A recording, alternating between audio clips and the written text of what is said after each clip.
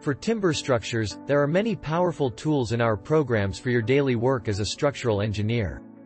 The best way to design pure beam structures is to use the structural frame and truss analysis software RSTAB 9. If you want to design not only members but also timber surfaces, you need RFEM 6. This means you can also design cross-laminated timber elements.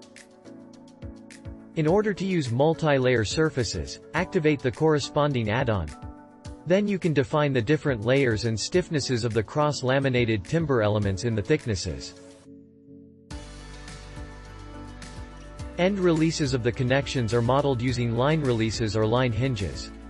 Both allow you to exclude or reduce certain degrees of freedom for the transfer.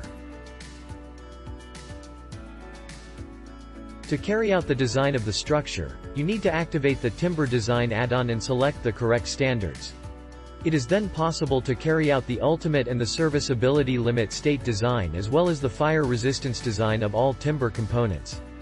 After activating the add-on, dialog boxes appear where you can enter effective lengths, service classes, or section reductions. These parameters are assigned directly in the member or surface properties. When performing the design of compression in the direction perpendicular to the grain, it is necessary to assign design supports to the respective nodes. You can display all calculation formulas and result diagrams like in other add-ons and print them into a printout report. To divide a building into stories, you need the building model add-on. Thus, the program automatically recognizes all components belonging to a story. The building model can be used to determine center of gravity, results on shear walls or story drifts for each individual floor. The add-on is also used in dynamics because all these values can also be determined for spectral analysis.